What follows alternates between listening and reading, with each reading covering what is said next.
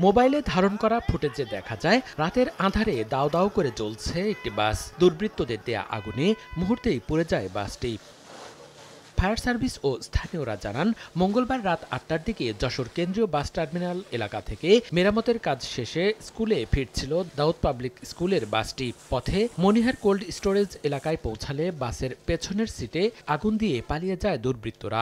সারাদিন এই গাড়িটা কাজ করাইছি। কাজ করাই নিয়ে ফিরে আসার সময় ঘুষতলা মোড়ের ওখান থেকে দেখতে চাপ আমরা বালতিতে আগুন মানে বাসে পানি নেওয়ার চেষ্টা করেছি।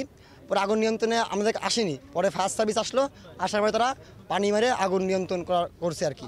আগুন দেখতে পেয়ে রাস্তার পাশে বাস থামিয়ে নেমে যান চালক ও তার সহযোগী। খবর পেয়ে ফায়ার সার্ভিস ঘটনাস্থলে এসে আধা ঘণ্টার চেষ্টায় আগুন নিয়ন্ত্রণে আনে। তবে ততক্ষণে পুরোপুরি পুড়ে যায় বাসটি। তদন্ত করে দেখি দেখার পর আমরা বুঝতে পারব যে আসলে কী কারণে লেগেছে।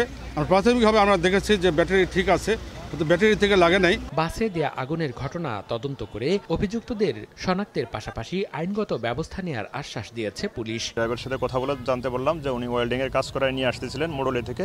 তদন্ত করে দেখতেছি যে আসলে ঘটনাটা কি। এর আগে গত দুই নভেম্বর মধ্যরাতে মনিহার এলাকায় দাঁড়িয়ে থাকা বিআরটিসির একটি বাসে আগুন দেয়া হয়। ওই ঘটনায় এখনও কাউকে শনাক্ত করতে পারেনি পুলিশ। সময় সংবাদ যশোর।